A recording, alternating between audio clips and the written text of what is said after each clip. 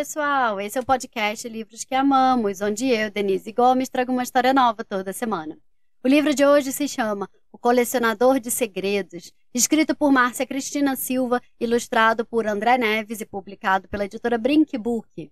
Quem apresenta o episódio de hoje é a Clarice, que me mandou um áudio maravilhoso. Clarice, muito obrigada pela participação. Um beijo grande. E conta pra gente o que você tem a dizer. Oi, meu nome é Clarice, eu tenho 5 anos, moro em Belo Horizonte, no Brasil. A história que a Denise vai ler hoje é O Colecionador de Segredos. Eu tenho esse livro, eu amo muito. Beijo, tchau.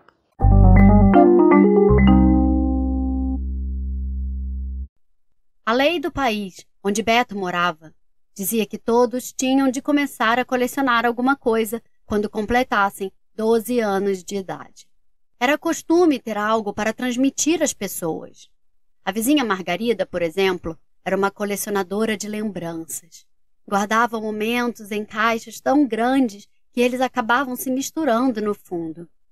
Apesar disso, sempre encontrava a lembrança certa para dar de presente às pessoas na hora em que elas precisassem.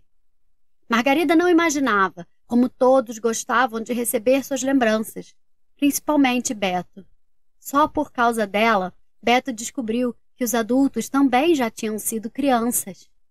O engraçado é que podia imaginar Margarida como uma menina, nas longas histórias que conta de sua infância, mas era muito difícil acreditar que seus pais também tivessem passado por coisas parecidas. Talvez porque não gostassem de colecionar lembranças e jogassem todas fora. Margarida não achava que fosse o motivo e dizia: Ninguém joga fora seus momentos. O que acontece é que algumas pessoas escondem tão bem suas lembranças que acabam acreditando que nunca as tiveram. Mas um dia, quando menos esperam, sempre encontram uma caixinha no fundo da gaveta. Nada na vida é certo, Beto.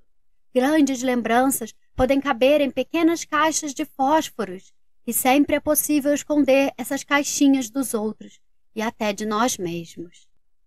Beto gostou tanto das palavras de Margarida que resolveu guardá-las no cofre que o pai havia lhe dado de presente de Natal. O pai, que era economista, dizia que o cofre era para o menino começar a juntar dinheiro, se preocupar com o futuro. Como Beto achou que de alguma forma aquelas palavras seriam importantes para seu futuro, tratou de trancá-las antes que se perdessem. O pai de Beto colecionava preocupações, desde muito cedo, e já tinha conseguido transmitir algumas ao filho. Como já estava perto de completar 12 anos, Beto sabia que em breve teria de decidir o que iria colecionar. Todos os dias o pai o lembrava de que essa era uma decisão muito importante. Certa vez, ele disse a Beto: Eu comecei a colecionar preocupações por acaso, meu filho. Quando vi, já estava com dezenas delas. Hoje, se pudesse escolher, teria feito outra coleção, mas não posso mais viver sem minhas preocupações. Por isso é importante que você escolha bem, pois quando a gente começa a colecionar alguma coisa, parece que ela se multiplica tão rápido que não dá mais para voltar atrás. Não vê a sua mãe com a coleção dela de medos? Cada dia aparece um medo novo. É só descobrir que uma amiga tem medo de alguma coisa e ela logo arruma um medo maior. Outro dia fui abrir a gaveta e os medos dela caíram todos no chão. Ela ficou desesperada, com medo de perder algum medo. Quando colocou tudo no lugar, confessou que não deveria ter começado aquela coleção. Seus pais lhe passaram tanto medo que foi mais fácil continuar a colecionar o que estava perto dela. Mas eu não queria que com você fosse assim. Gostaria que escolhesse seu próprio caminho. Até porque nossos medos e preocupações não têm nenhum valor no mercado. A coragem é muito mais valorizada. Com ela compra-se até a tal da felicidade. Mercado? O pai às vezes falava de forma muito engraçada. Os únicos mercados que Beto conhecia eram aqueles que vendiam frutas, legumes, flores. Não podia imaginar um mercado vendendo preocupações e medos. Para ele, o que tinha valor eram os sonhos. O sonho era um lugar colorido e saboroso, onde as pessoas pareciam felizes. A primeira ideia de Beto foi colecionar certezas, mas logo percebeu que elas não eram apenas difíceis de serem encontradas, eram simplesmente impossíveis. Passou semanas tentando encontrar alguma para colar no álbum, mas as páginas continuavam em branco.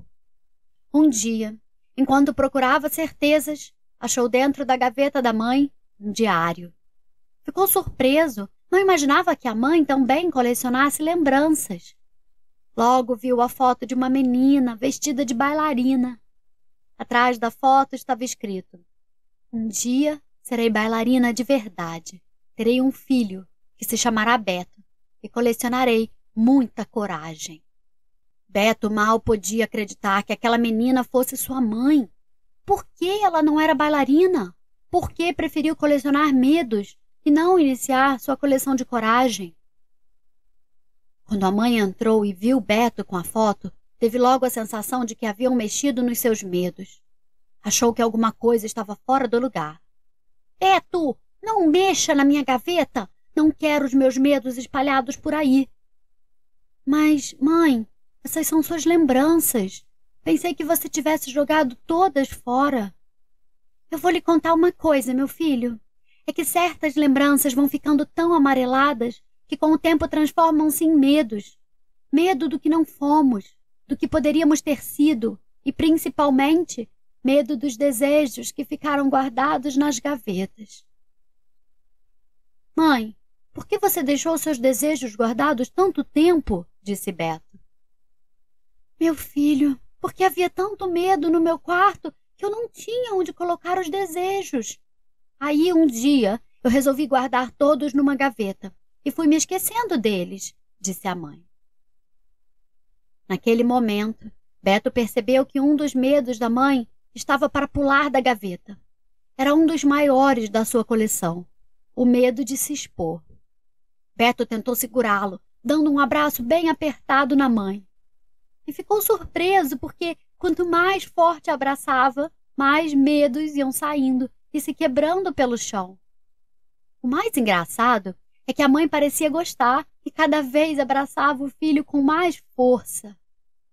Beto então descobriu algo que não conseguia explicar com palavras, mas era tão grande e colorido que resolveu guardar no seu cofre. Sabia que, de alguma forma, aquilo também seria importante para o seu futuro. Beto disse. Então, por que você não jogou fora um pouco dos medos para dar espaço aos desejos? E a mãe respondeu: Porque o medo gruda em todos os lugares. Mas não tem como removê-lo? perguntou Beto. Tem, até que tem, só que os removedores custam muito caro. São todos feitos à base de coragem, e você sabe como é difícil encontrá-la. Mas hoje o papai tem muito dinheiro, disse Beto. Por que você não compra aquele produto novo que anunciam na televisão? O removidor? E a mãe respondeu: É, Beto, você me deu uma boa ideia. Acho que vou procurá-lo amanhã. Afinal, já está na hora de remover tanto medo. Alguns você já conseguiu quebrar hoje, não é, meu filho? Muito bem.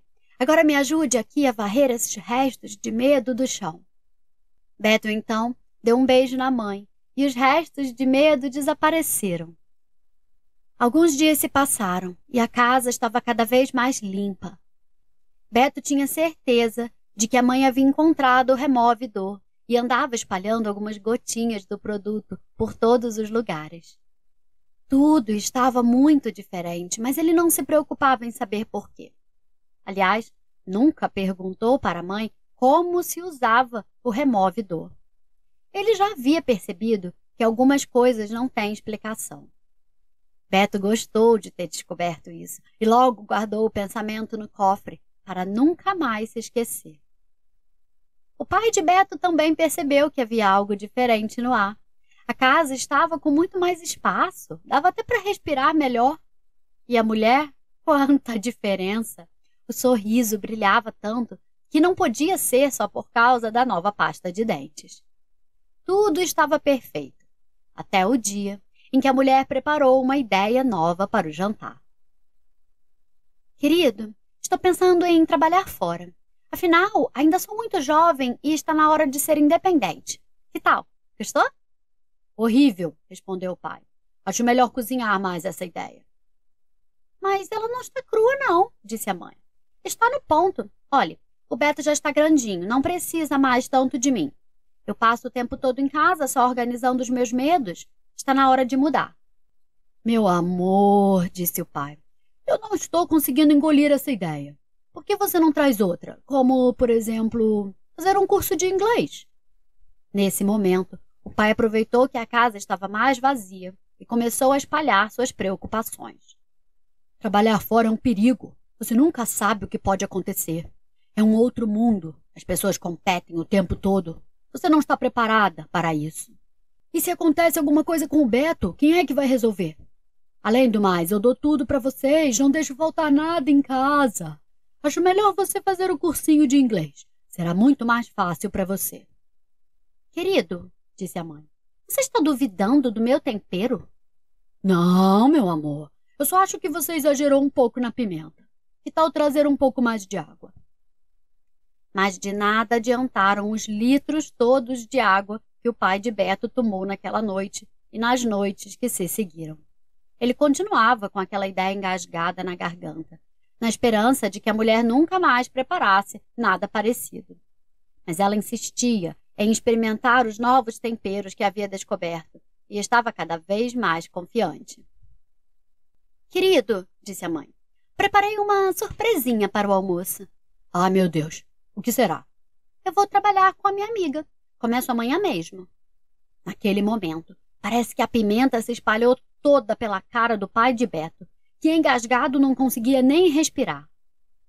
Querido, não tenha medo, é assim mesmo. Algumas ideias têm esse sabor forte, mas com o tempo vão caindo dentro da gente até que se transformam, ficam igual pudim de vento, e o peso vai embora. Quanto tempo leva para isso acontecer? perguntou o pai. Depende da digestão de cada um. Tome esse remedinho, que vai ajudar. O pai de Beto tomou o remédio sem nem ler o nome. Era a primeira vez que isso acontecia. Logo ele, que nunca deixava de ler as bulas porque vivia preocupado com os efeitos colaterais. A mãe de Beto, que agora passou a ter nome, Linda, notou que finalmente o removidor estava fazendo efeito no seu marido. Bem que nas instruções dizia que espalhando bastante o produto até os lugares mais resistentes acabariam brilhando. Beto sabia que durante as surpresas que a mãe preparava para o pai, o melhor era ficar calado. Depois que os dois saíram da sala, ele foi olhar o nome do remédio que o pai tomara. Vida. Beto achou melhor guardar aquele nome no seu cofre, caso um dia sentisse necessidade. Parece que o remédio fazia efeito logo, porque naquela mesma tarde o pai de Beto perguntou: Mas o que é mesmo que você vai fazer com sua amiga linda? Vou ser gerente da loja dela, respondeu a mãe. Acho que vai ser ótimo. Tenho um horário bem flexível e vou conhecer muitas pessoas. O marido não disse mais nenhuma palavra pelo resto do dia. Linda sabia que ainda estava doendo, mas que com o tempo a dor desapareceria. No dia seguinte, Linda acordou cedo e tomou café com Beto. Seu pai não passou bem a noite. Olhe, deixou as preocupações dele espalhadas pela casa. Acho melhor desistir dessa ideia de trabalhar fora, não é, meu filho? Claro que não, mãe, respondeu Beto. Vai desistir mais uma vez dos seus desejos? Lembra o que aconteceu antes? Os desejos ficaram amarelados e viraram aquela porção de medos. E quem sabe o papai, vendo que você jogou fora um monte de medos, resolve jogar fora as preocupações dele também? Sabe, meu filho, você cresceu tanto, eu nem havia notado. Linda deu um beijo em Beto e foi para seu primeiro dia de trabalho. No caminho, iria tomar um pouco daquele remédio tão poderoso que fazia seu coração bater mais forte e o ar entrar como um furacão por todo o seu corpo, tornando as pernas mais firmes, sentindo os pés pesados, colados à terra, e a cabeça leve, tão leve como ela nunca havia sentido. Antes que a mãe fechasse a porta, Beto pegou aquele seu último olhar para a casa e guardou no cofre. Era um olhar muito diferente e devia ser valioso. Era como o olhar dos pássaros antes do primeiro voo. Durante o dia, o pai de Beto mal conseguiu trabalhar. A toda hora ligava para casa e mandava um pouco de suas preocupações.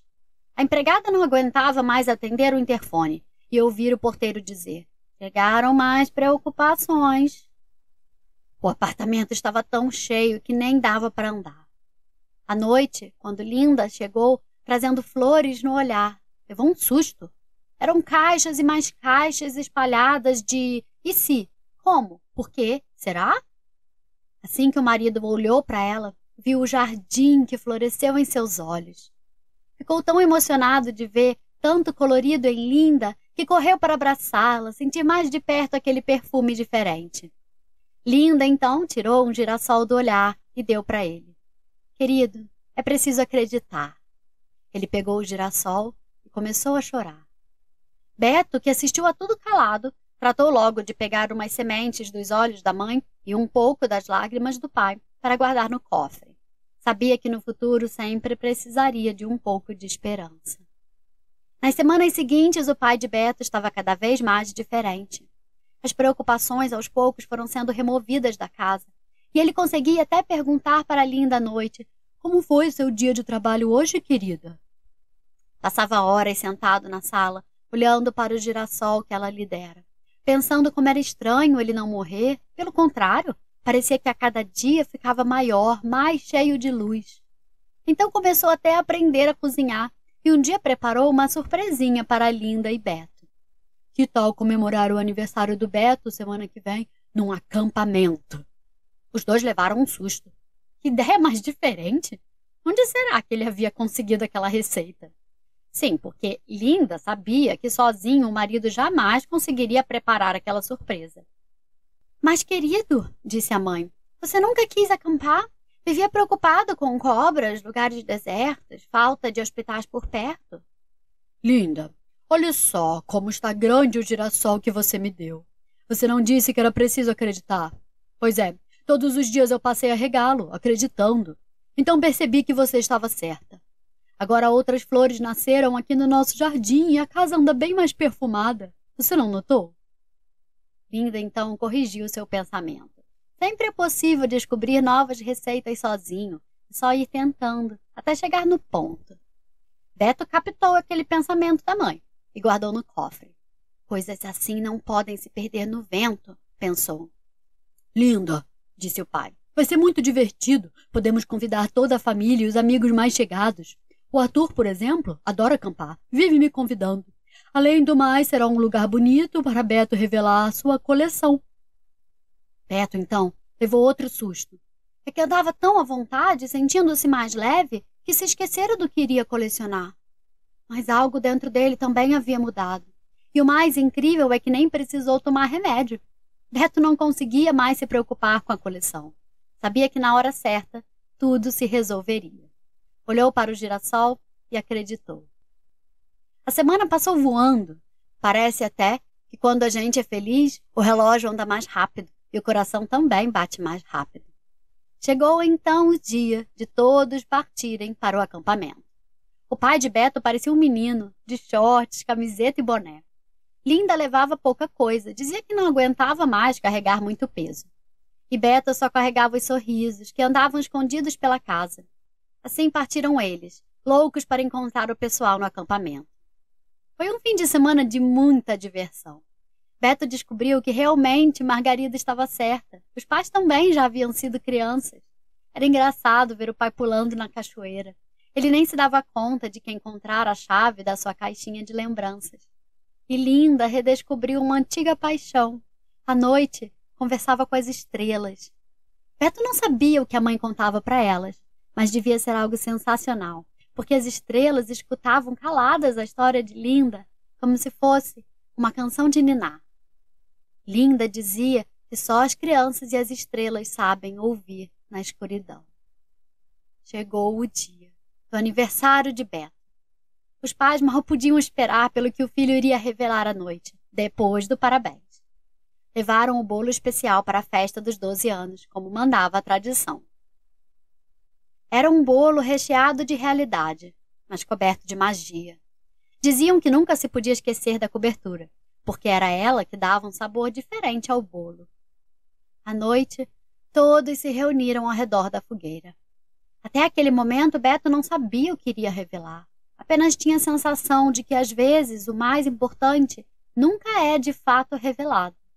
Então, depois dos parabéns, seu pai disse, todo orgulhoso: Atenção, atenção, que agora chegou a hora de Beto revelar sua coleção. Todos pararam de falar. De repente fez-se um silêncio tão grande que Beto pôde até ouvir o que se passava dentro dele. Foi então que se lembrou do seu cofre e mostrou para todos. Meu filho, você vai colecionar dinheiro? Não, pai. Você não disse que o cofre era para garantir o meu futuro? Disse Beto. Sim, meu filho, nada melhor do que muito dinheiro para isso, não é mesmo? E Beto respondeu: Mas há coisas, pai, que valem mais que dinheiro, né? O pai entendia o que o filho estava querendo dizer. Era só se olhar no espelho. Aquele sujeito que estava ali não podia ser o mesmo que andava sempre preocupado com tudo. E não havia sido o dinheiro que lhe dera aquela felicidade. No momento em que Beto ia revelar sua coleção, o cofre escorregou e caiu dentro da fogueira. O fogo aumentou de um jeito que até as estrelas acordaram, sentindo um calor diferente. De repente, Beto percebeu que não precisava mais do cofre, porque tudo que era importante já estava guardado dentro dele mesmo. Guardado tão bem que ele não sabia como colocar para fora. Sentia que, se revelasse a coleção, algo se perderia. Beto então decidiu que iria colecionar segredos. Todos adoraram a ideia de Beto, apesar de não poderem ver a coleção. O fogo só se apagou depois que uma forte chuva caiu, e eles foram dormir, na certeza de que um segredo maior rondava a escuridão.